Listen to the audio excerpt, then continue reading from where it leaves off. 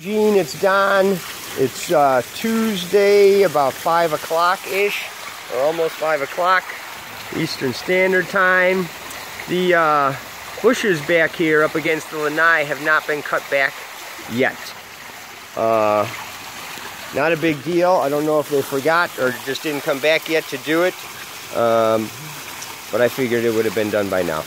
All right, uh, I wanted to show you one other quick thing here. I found a second hole in uh, in your little uh, styrofoam coping, uh, which leads me to believe that it is wood. The other side was a woodpecker as well.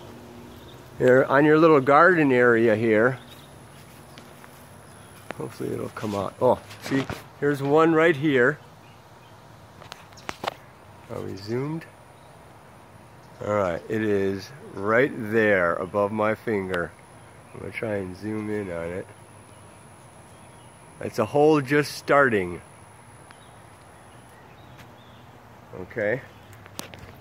Now, right here is another one. Uh, right where you can see daylight through there sun's out pretty good. I can't get a good, oh, there's a little bit better picture, okay? And then of course the other one, that's right there. All right, that's a good one. All right, that's it, Gene.